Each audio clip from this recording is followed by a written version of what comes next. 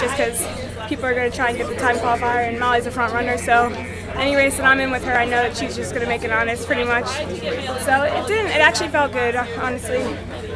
I haven't really doubled at this caliber of a meet before, so I feel good going into it. My coach was just like, "Don't press if you don't have to. You know, understand what the qualifying is and go for that." So I definitely feel like I had something left and could compete with those girls, but I saw where I was and where people were behind me, so I just tried to bring it in best I could to just secure my auto qualifier. Speaking of trying to double, this meet is uh, the one before the next bigger caliber meet. Is that really what you're going to try to do? Um, you make the team in the five?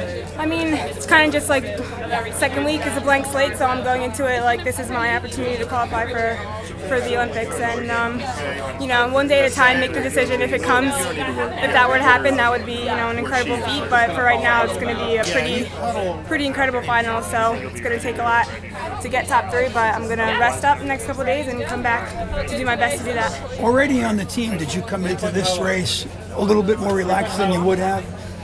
Um, I, I, I couldn't say, but just because, like I said, I haven't had this experience before, but I, I felt relaxed and comfortable coming into this entire meet. There was definitely a little bit more nerves going into the 10K than this than today, but I still knew I had to kind of had my head on straight to this wasn't going to be just, you know, a flop. You had to definitely get out there and run, so just did my best to refocus, and we had a lot of time to do that, so it was good. How does it? I mean, you're already an Olympian, so I mean, that's how do you feel about what's happened?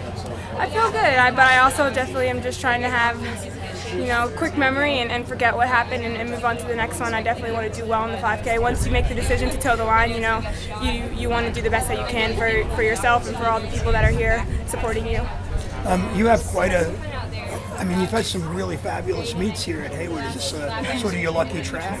Yeah, I, I, hope so. That, that would be good. This is well, I mean, where you won the your NCAA. Are, so. you won your one NCAA title. Yeah, I definitely have had uh, the last few years. I've been I've had some good some good memories from here. So I'm excited to definitely toe the line on Sunday and hopefully make some more good memories.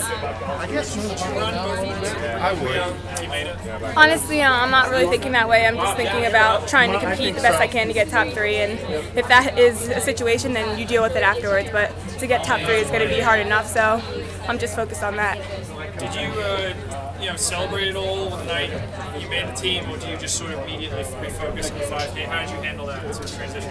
Yeah, well, we had Ajeé the next day, so I was excited, but it, it, meant a lot more for us to be able to go there together. So we're roommates. We were roommates at this meet, so it was just kind of like, okay, you know, kind of somber.